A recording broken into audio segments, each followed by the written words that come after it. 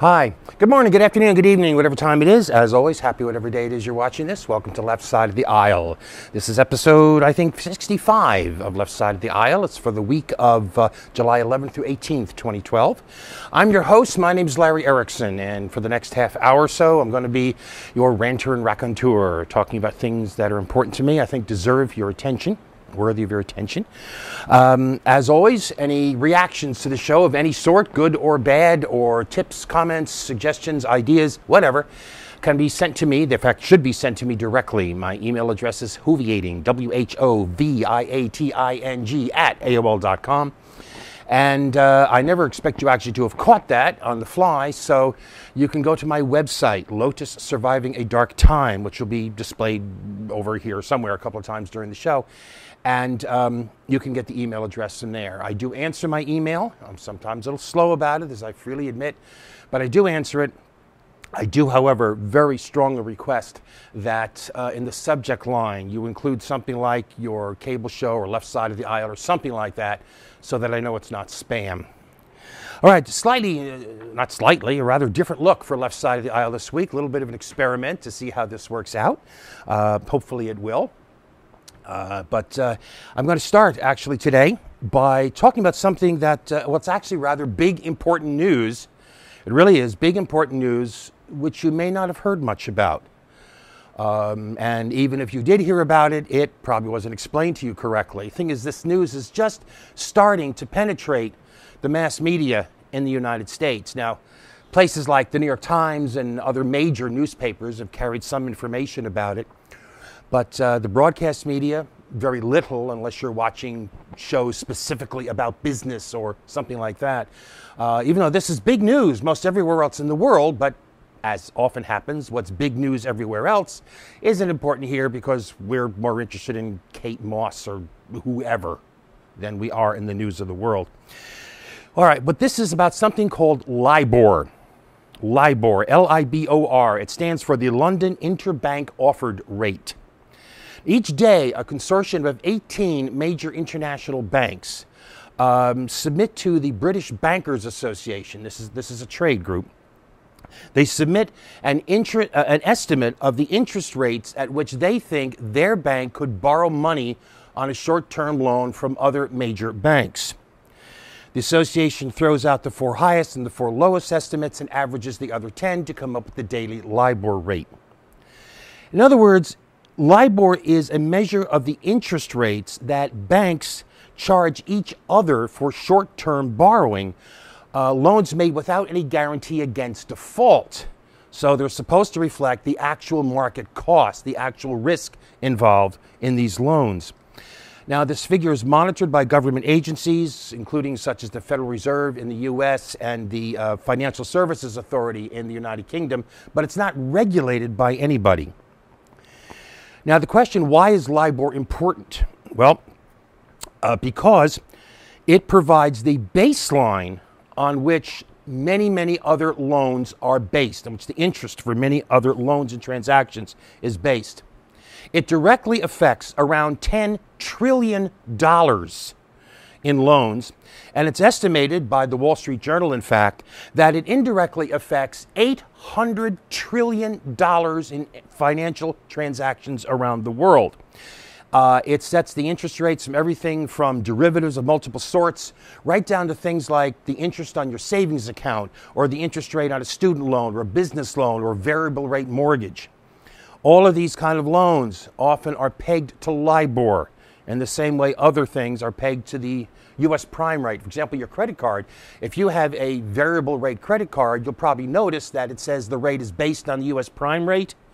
All of these loans, $800 trillion worth, are based on LIBOR. So this is a big deal. This is an important number. In fact, the um, internationally respected business magazine, The Economist, calls it the most important figure in finance. And evidence is growing, evidence is emerging that it has been manipulated for years by the banks for the benefit of, guess who? The banks. So far, the scandal has been limited to Barclays, which is a an old, uh, actually about 300 years old, a very old and a very big bank based in London. Barclays just paid $453 million in, uh, in fines rather, to U.S. and British uh, bank regulators. Barclays top executives, their three top, its three top executives have been forced to resign. Uh, and in fact, the emails of its traders, which came out as part of this settlement, give what uh, former Labor Secretary Robert Reich called a chilling picture of how easily Barclays people got their got their colleagues their, uh, to to rig or at very least try to rig the figures in order to make big bucks. And because of the daily flow and flux of like derivatives trading, even small changes in the interest rate can make a huge difference. In fact, in um, 2007, it was estimated that the gain for Barclays Bank alone that the gain or loss it stood to have on a single day of um, derivatives trading based on normal fluctuation of interest rates could be $40 million a day. But here's the thing this is where this scandal starts to grow real claws. Because of the way it's calculated, remember, it's 18 figures, you throw out eight of them and average the middle 10. There is no way that Barclays on its own could have manipulated LIBOR enough to actually make a difference. It was only through the, co- through the collusion of the other banks, or at least a significant number of them, that this would even be possible. Uh, and the thing is, Wall Street banks, the usual suspects like JP Morgan Chase, Citibank, Bank of America, they're right in there with this group. In fact, over the past week, rather damning evidence has emerged these emerge in the documents, again, the detail the settlement that Barclays made with the regulators. These documents show that employees at Barclays and at several other unnamed banks tried to rig the LIBOR number repeatedly over a period of at least five years. In other words, they were rigging the international system of finance for their own short term gain and selfish needs. Gee, what a shock. Uh, quoting Robert Reich again, this is insider trading on a gigantic scale. It makes the bankers winners and the rest of us, whose money they've used to make their bets, losers and chumps. And if that wasn't enough, there is a second, uh, a related scandal. Around 2007, when the whole rotten structure of derivatives of derivatives of derivatives was starting to teeter like a two foot stack of pennies, Barclays was submitting figures to the, for, for LIBOR clearly below what they should have been. That is, remember, these, these rates are supposed to be what you think it would cost you to borrow money from other banks. And maybe the banks would have charged Barclays this much, but Barclays was saying they're only going to charge us this much. What this does is it makes Barclays look like a less risky loan partner as less likely to default on those loans, and which means a better financial health than it actually was. Barclays was actively concealing its own increasingly precarious financial condition. Now, in its own defense, bank officials say they did this because all the other banks were doing the same thing, and Barclays could not afford to be an outlier. So all these banks were actually concealing their actual financial positions. Those banks did not prevent the collapse of the financial system, but they did accomplish two things. One, they protected their bottom line in the short term. And two, they made sure when the collapse did come in 2008 that it was even worse than it would have been. There are now investigations about all this going on in several countries, including Canada, America, Japan, the European Union, Switzerland, and Britain. Uh, the chief executive of one multinational bank referred to this as the banking industry's tobacco moment. He was referring to that uh, back in 1998 when things really hit the fan for the uh, tobacco industry and they wound up being hit with $200 billion in, in court settlements. Now, this has led to some people defending the banks, and not just on the um, the usual kind of dismissive tone. The, the, number two at the Bank of England referred to this. This is, a, this is just a minor scandal and was harumphing about how that's all in the past and things are all better now. Don't worry about it anymore. Um, but no, even beyond that, there are people defending the banks on the jaw dropping argument that Quoting one, the world cannot afford endless litigation against banks. It's too much of a threat to growth, too much of a threat to the world economy, too much of a threat to anything and everything that we hold dear.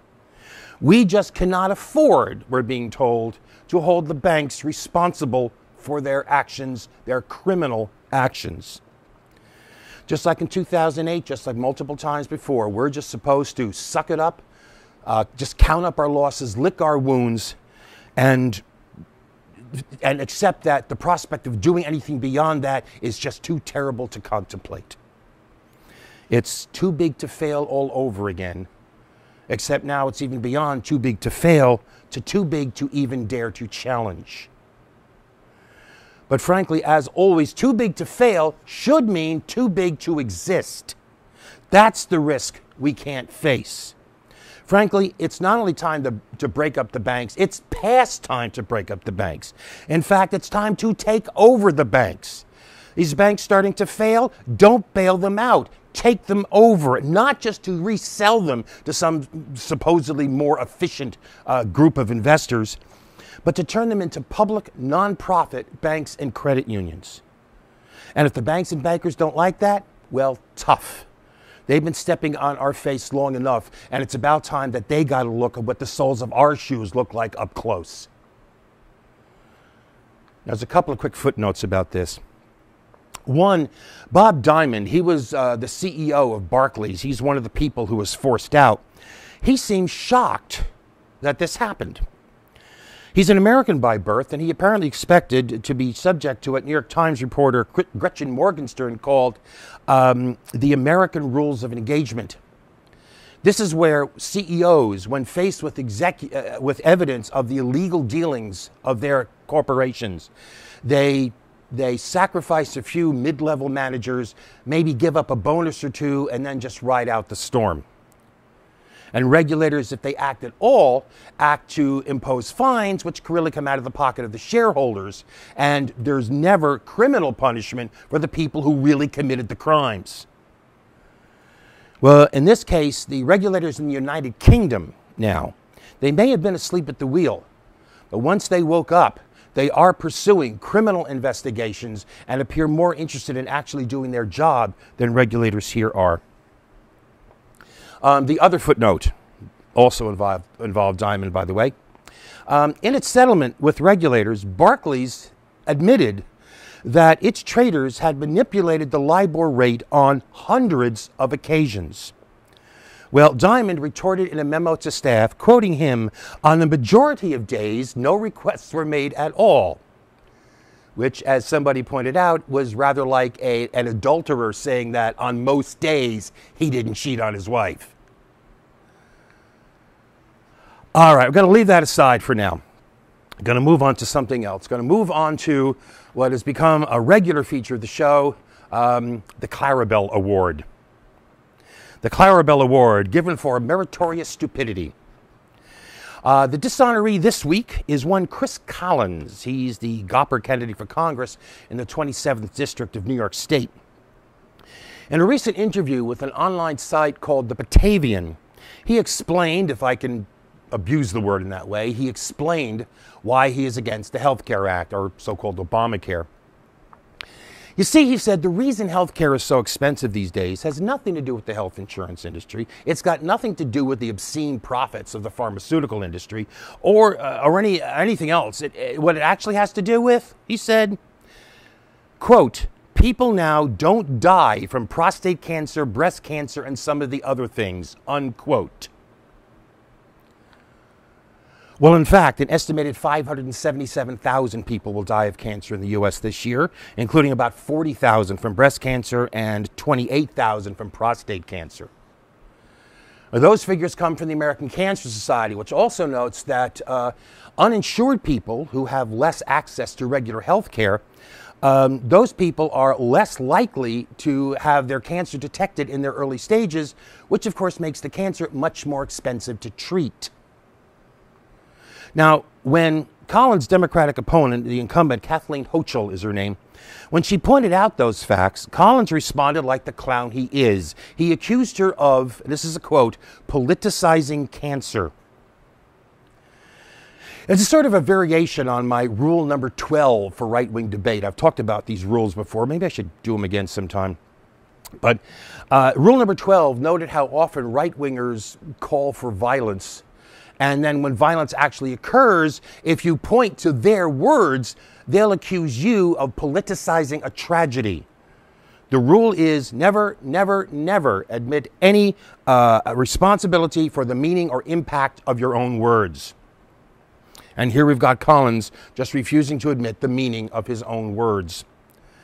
In fact, his statement was so thoroughly dumb that the editor of the Batavian took it upon himself to say on Collins' behalf that Collins obviously meant that fewer people die of breast and prostate cancer, not that no one does. Except Collins had the opportunity to say exactly that in his response to Hochul. He could have said, Don't be silly. Obviously, it was a little hyperbole. Obviously, I don't think that no one dies of this. But he didn't say that, even though he had the perfect opportunity to. So, did he really mean fewer rather than none? And if that wasn't enough, he went on to say, quoting today, Our healthcare today is so much better. We're living so much longer because of innovations in drug development, surgical procedures, and, and other technological developments. This actually is flat out wrong. Life expectancy, as we normally express it, refers to life expectancy at birth. The vast majority of the increase in life expectancy that we have seen over the past several decades has been in reduction in infant and youth mortality. It's not that people are living to a greater age, it's that fewer people are dying young. Um, and if that's not clear, think of, think of it this way pick an age, say 80, okay? It's not that more people are living beyond 80, it's that more people are living to 80. Um, now, the, the things he cites, these technological developments that he cites, have enabled us to live healthier to a greater age, but it has not really extended the age to which most people live. So, Collins is indifferent to the needs of the poor. He's either unable to admit or too dumb to recognize a boner, um, and he's ignorant to boot. A triple threat and a real clown. All right, we're going to take a break. We'll be back in just a minute.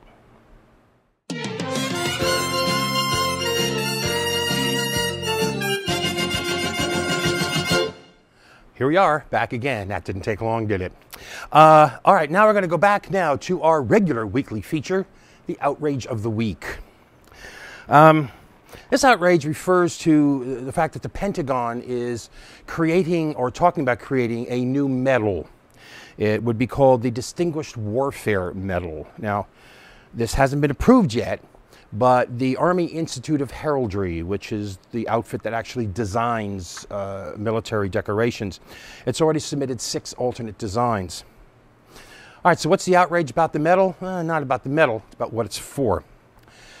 These medals are specifically designed, specifically intended to be awarded to those people who pilot predator drones to attack targets in Afghanistan, Pakistan, and elsewhere.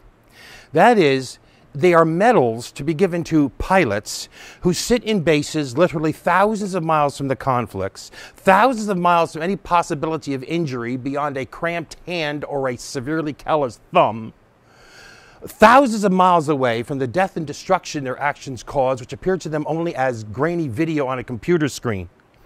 And now to, they're to be rewarded for, for what? Their bravery? Apparently so, yes. Writing in the May June issue of the Air, uh, it's called the Air and Space Power Journal, an Air Force major named Dave Blair uh, wrote about, he wondered aloud about how much difference there is between danger at 10,000 feet and at 10,000 miles. See, according to him, an aircraft with an actual, an actual aircraft with an actual pilot in it that merely scrapes the top of a combat zone, uh, which is well outside the range of any realistic threat, he says, that such a pilot is considered to be in combat because it was actually in a combat zone. But a Predator drone firing a missile is mere combat support. And apparent to him, this just doesn't seem fair. It's just not fair that the drone pilots, these joystick jockeys, it's not fair that these drone pilots sitting at computer screens killing people by remote control are not regarded as being in actual combat, as being right there in the thick of things, right there in the front lines with the grunts and the foxholes. Now, years ago, in fact, it was a few decades ago now, the military started talking about the electronic battlefield. In fact, the, the, the, the, the center of the Army's command for the Electronics Warfare Command, it was called, was actually at a military base just down the road from where I was living. Some people started worrying about wars of robots, and other people started worrying about how increasingly isolating people from the actual effects of what they are doing desensitizes people to those effects and so makes them easier to do. That this is all making wars easy. Um, it's taken some time, but we are surely there. We are surely at that point. Those who kill computer images but at a distance of thousands of miles, they're to be regarded now as engaging in work that is not even just deemed necessary, but as positively courageous, worthy of medals. As Glenn Greenwald said, quoting him, if the mere act of taking steps that will result in the deaths of others makes one brave, consider all the killers who now merit that term dictators who order protesters executed, tyrants who send others off to war, prison guards who activate electric chairs. Consider, too, that when one of these drones actually does succeed in killing somebody, it's referred to, this is the actual military term for that, it's referred to as a bug splat human beings referred to as bugs to be squashed, and the people who do the squashing in complete safety from thousands of miles away to be rewarded for their bravery. A week, frankly, does not seem long enough to me for that level of outrage, but it's what I've got. It's the outrage of the week. All right, after that, I have to lighten things up for the end. So we are going to go to another of our occasional features. It's called And Another Thing.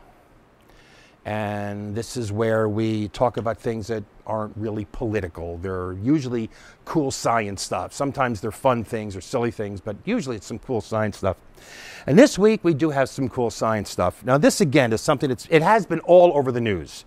I'm sure you've heard about it, uh, even if you didn't understand it which wouldn't be surprising if you didn't understand it because the very likelihood is that the people explaining it to you didn't understand it either. On July 4th, two teams at the European Organization for Nuclear Research, which is known by the, by the acronym of its French name, CERN, C E R N, these two teams announced that after years of smashing together subatomic particles at uh, nearly the speed of light, they had found a new elementary particle which, in the cautious words of scientists, is consistent with the characteristics predicted for the Higgs boson. Put another way, they had all but certainly found what has become known as the God particle uh, because of the way it cements the standard model of, uh, of physics, of subatomic physics. Simply put, very simply put, even overly simply put, there are two types of subatomic particles, fermions and bosons. Now, fermions are usually associated with matter, while bosons are the force carriers between particles. They transmit forces. Uh, for, for one example, an electron is a fermion, um, while a photon, which can be thought of as a particle of light, that's, uh, that's, uh, that's a boson. All right, here is the issue. Here is the issue. Scientists had this nice, it's, it's rather complicated, but it's still, it's still organized. They had this organized pattern of relationships among various families of subatomic particles. There's a whole zoo of subatomic particles, but they can be grouped into families based on similar characteristics. Um, and they had uh, scientists develop this, uh, you know, this pattern of relationships among these families and among the individual particles that made up the families. Each particle has its own characteristics. But scientists, always looking for the next question, still had a question. Why? Why did these particles have these characteristics? Um, and here's, here's one that's, that's relevant right here. Fermions, for example, these are the, like the matter particles, like electrons. Fermions are essentially point particles. They essentially have zero volume.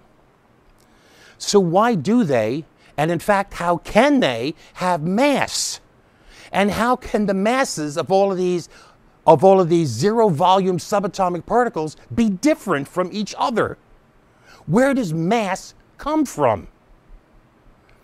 The Higgs boson was the hypothetical answer to that question. The Higgs boson, which is named for Peter Higgs, he was a British physicist who actually came up with the idea and made the prediction of the particle. The Higgs boson would make up the Higgs field, which permeates all of space. Um, it's been described in various things as being like a molasses or, or, or a liquid or something, which is a terrible description. It's an absolutely terrible description. A better way to think of it would be like being in a room and there's light in the room. Well, anywhere you look in that room, there's light. Uh, so light is like permeating that room. And think of it that way. Think of it that way. The Higgs field permeates all of space. The thing is, different particles would interact differently with the Higgs field, some of them more strongly than others. Well, so the more strongly a particle interacts with the Higgs field, the more energy it would take to move the particle through that field. And since the amount of energy it takes to move something to overcome its inertia is a definition of mass, the Higgs field would be why things have mass. Because different particles interact with the Higgs field. And it would also then explain why different things have different masses. That hypothesis specified, the one that Peter Higgs came up with, specified the characteristics of the Higgs, that the Higgs boson would have to have in order to fit the idea that he was proposing. And it is a particle with those characteristics that research at CERN have now found. Now, by the way, gonna, just to give you an idea of what they do, I'm going to bring up a picture here. This picture you see here is of, uh, was released by CERN. It's a picture of the results of one of their experiments in their, uh, in their, it's called the Large Hadron Collider. It's where they do these experiments. And this is the kind of thing that they analyze in looking for the Higgs boson. So, um, years ago, Bill Cosby, back when he was funny instead of uh, an obnoxious old man screaming, Get off my lawn, uh, he had a comedy album called Why Is There Air? And this way, this is like that. It's one of those fundamental why questions, questions that we so basic that sometimes we don't even think to ask them. Why is there mass? Now scientists think they know the answer to that basic question. And how cool is that? All right, that's it for me for the week. I got about half a minute left, I think. So uh, I'm just going to say my farewells. Thank you. Let us know what you think of the new look of. Uh, of the show here, and we're just trying it out, see what it looks like. But you have the best week you possibly can. We will see you next week.